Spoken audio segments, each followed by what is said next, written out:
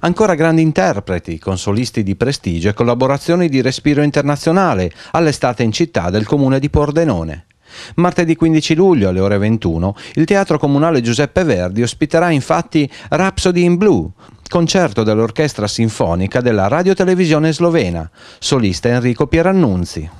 A dare il titolo al programma la celebre Rhapsody in Blue composta da George Gershwin, musicista americano ma di origini russe, nel 1924, che fonde mirabilmente due generi, jazz e musica colta.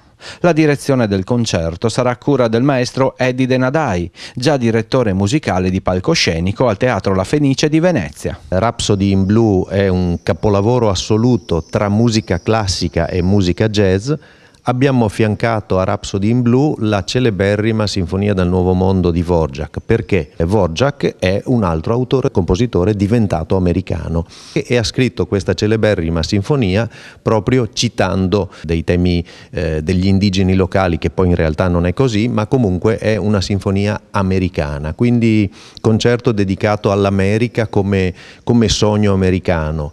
Eh, anche Gershwin, non, ricor- eh, non dimentichiamo che era russo di origine e poi si è trasferito in America. La prevendita dei biglietti è aperta e ricordiamo che ci sarà anche una grandissima orchestra. Orchestra sinfonica della radiotelevisione slovena di Lubiana, eh, un po' di casa a Pordenone perché è venuta forse qualche decina di volte, una delle migliori orchestre europee che sicuramente eh, proporrà un, un, concerto, speriamo, eh, perché ci sono anch'io di mezzo naturalmente come direttore, ma dovrebbe essere un concerto molto bello.